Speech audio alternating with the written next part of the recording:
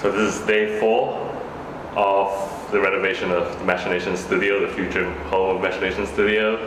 Uh, just want to keep you guys updated to what I've been doing for the last four days. So this wall has had to be completely stripped down. The paint was quite literally peeling off. I already had to do that for this entire wall and a portion of these pillars here. Strip bare down to the 40 year old concrete.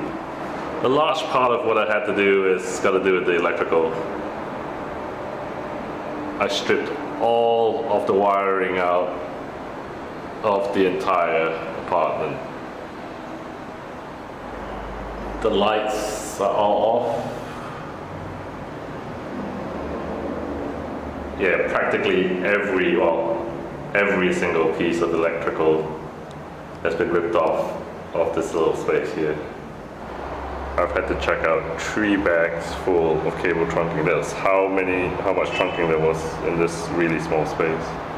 All the electrical points, some are really old, some are not quite that old, but uh, I've decided to change them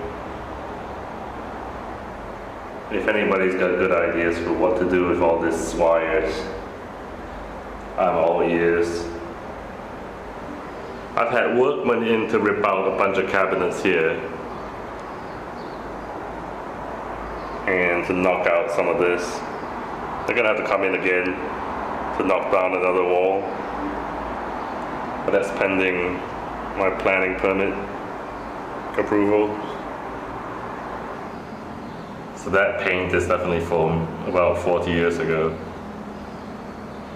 What were they thinking in the 70s? So that's what I've been doing the last four days. Um, today what I'll do is plug out all the holes and uh, plaster them up. This weekend probably paint on the sealants. You know, these bare walls are gonna need sealants. And yes, still quite a ways before all of this gets done.